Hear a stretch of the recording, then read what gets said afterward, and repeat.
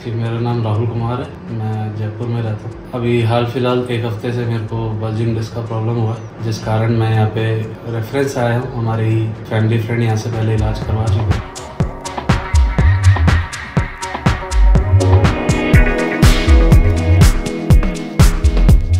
और जैसा कि इनका कल्चर है कि ये रिहैब में बिलीव करते हैं, जल्दी से ऑपरेट नहीं करते हैं, किसी भी चीज़ को समझते हैं, उसको सुधारने की पहले कोशिश करते हैं।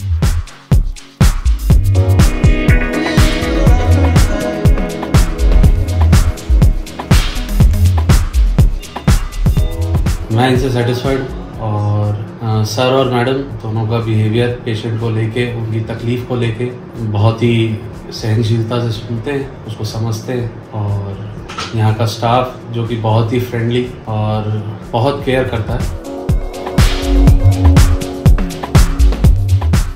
और आज मैं 11 तारीख को एडमिट हो रहा जिसके बाद मैं आज रिविज़िट पे आया हूँ और लगभग लगभग 70 टू 80 परसेंट अपने आप को बेहतर। खुद से चल के, खुद से ड्राइव करके यहाँ पहुँचा हूँ। ग्यारह तारीख को जब आया था, जब एंबुलेंस में आया था लेट के आया था। मैं मैम को थैंक यू कहना चाहता हूँ। अपल अराउंड हॉस्पिटल को, यहाँ की हॉस्पिटैलिटी को और यहाँ के स्टाफ